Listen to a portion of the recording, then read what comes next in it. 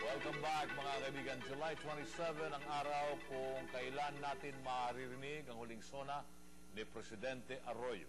Sa gitna ng mga katanungan ukol sa pagtutuldok ni PGMA sa kanyang pagkapangulo, pilit na isinasa isang tabi nito ang mga bagay na maaaring makasagabal sa huling taon ng kanyang panunungkulan. Masasabing lahat ng mga pinuno ay nagnanais na magawa ang lahat ng magagandang plano nito sa kanyang nasasakupa sa loob ng ikling panahon o termino. Subalit, pa- paano mo ito matutupad kung marami sa mga nasasakupan, ang iba ay tinatahak na, ang iba ang tinatahak na daan, hindi nagkakasundo.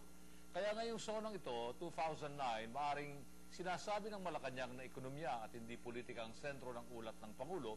At sa ulat na ito, tinatayang bibigyang diin ang pagpapataas ng revenues, pagsasaayos ng sistema ng tax collection, at pagpapasigla sa ating ekonomiya.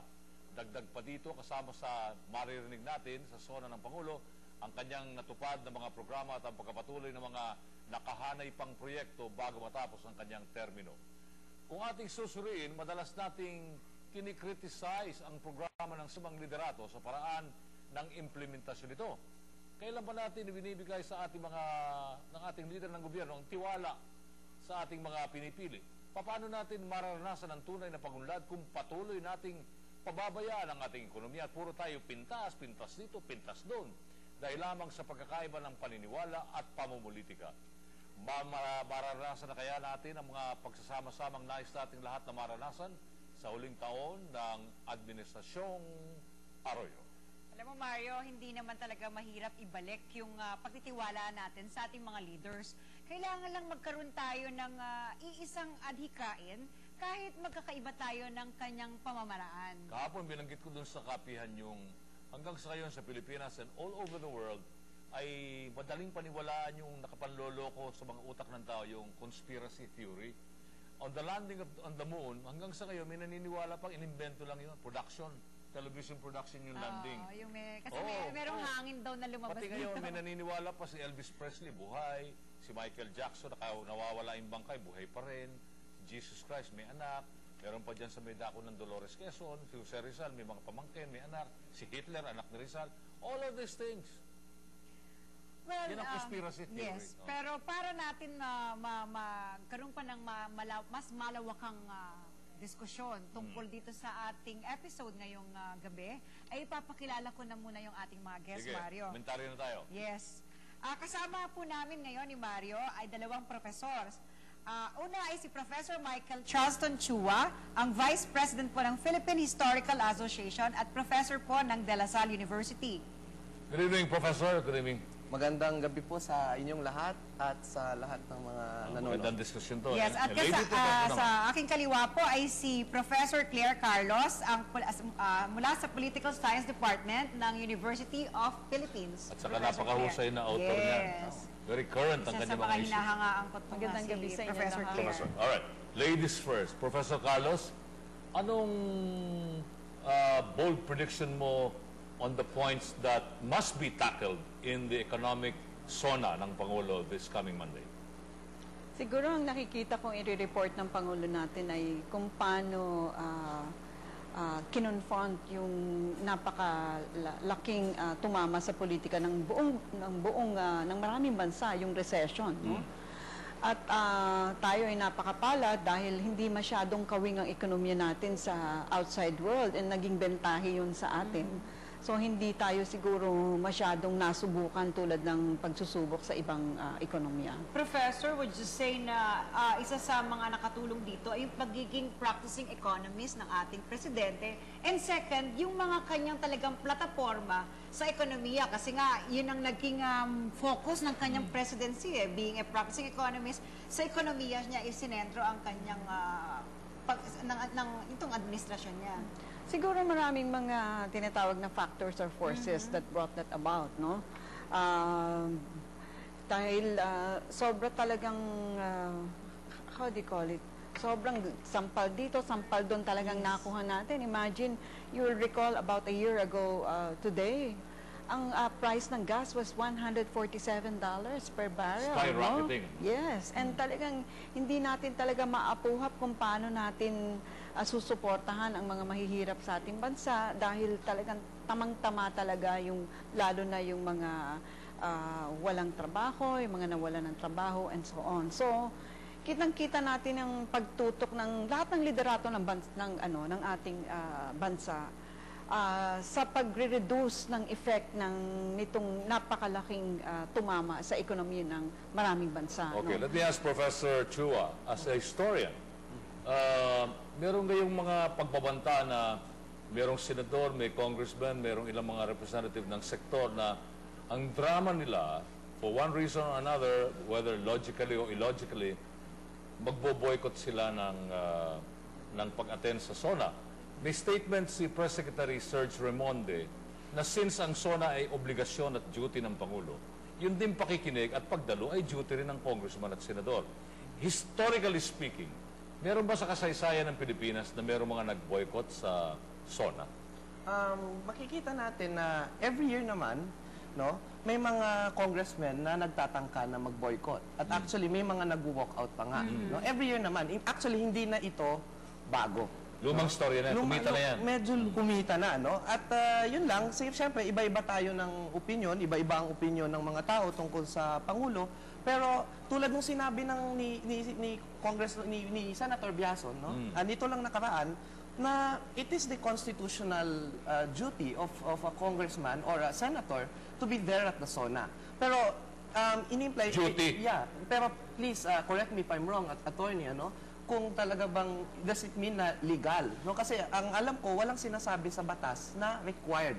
Na mandatory. Na mandatory. Pero the SONA is the most one of the most important dates of the calendar of the Congress. Yung SONA one. mandatory yun pagkasalita ng Pangulo. Pag, pag, oh, nasa konstitusyon yun. Pero yung pag-attend mo, ah, pag-attend mo yun, absent ka nun sa first day of Congress. So parang yung pagiging absent mo doon, parang nagpapakita ito ng ah, parang siyempre na absent ka. Yun lang naman yun. Pero according to Manolo Quezon, sinasabi niya na dapat kung ang Pangulo, kaya ayaw man natin siya okay, hindi, ay nagtutupad ng kanyang constitutional mandate, sana naman yung mga congressmen din, no, huwag kayong absent. No? Yun lang yung sinasabi Eh, hindi ilan, no? pag-uusapan sa media pagka hindi umabsent.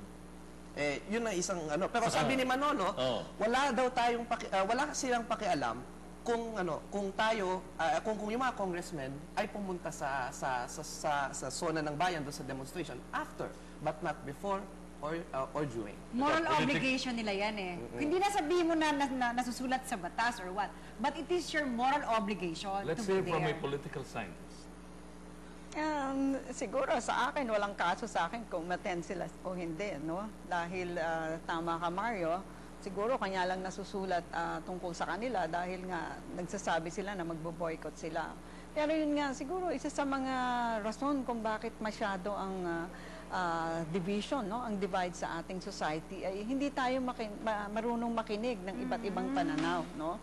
Ah, kasi ang pakikinig ang isang ano eh, ang unang ah, bahagdan ng ah, leader. Oo. Professor, Kasi, curiously, if you look at the Bible, sa Ten Commandments, pakinggan po ninyo at basahin ulit, oh. sa sitas ng Biblia, bago sabihin ng Ten Commandments, ang sabi muna, listen. Babalik po kami in just a while.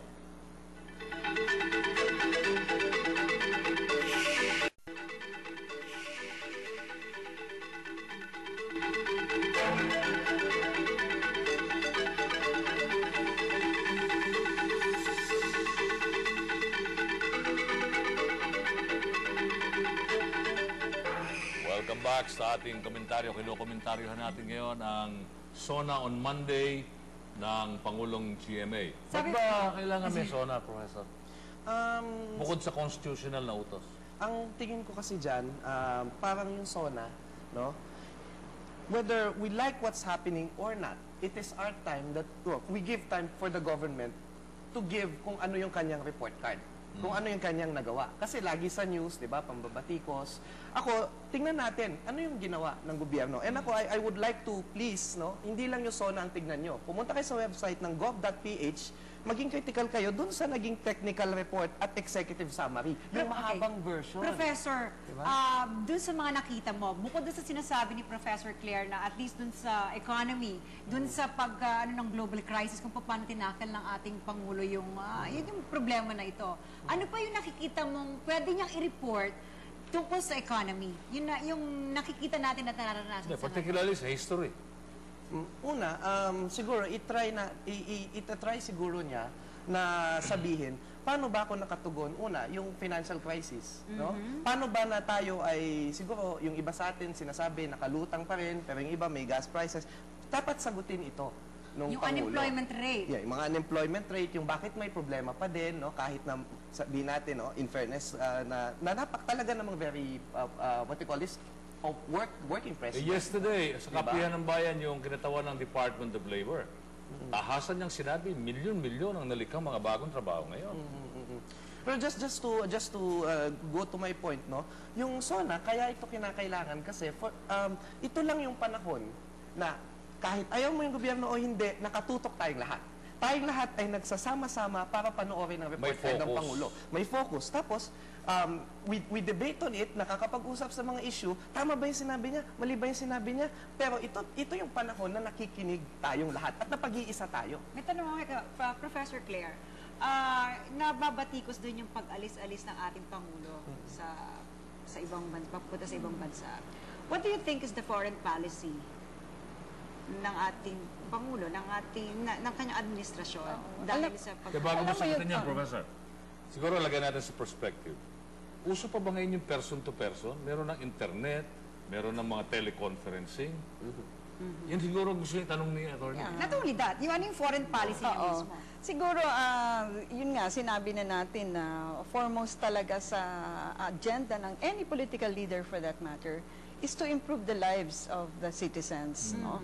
So, that being the case, talagang ekonomiya, pagkikreate ng jobs, pag ah, re-reduce ng distortions to trade, paghahanap ng export markets natin, etc. And you no? do that Along by those lines. traveling. And you do that by meeting people, by meeting businessmen. And yung ang, ang quick sagot nung kay Mario is the the internet can only do so much. Iba talaga yung Personal. person to person. Iba yung Walang warmth, yung ano? haplos Walang ng ano, ng eh, internet. oo. Alright, Iba Professor Carlos, the other point I'd like to clarify with you, as as a professor of history and political science, yung bang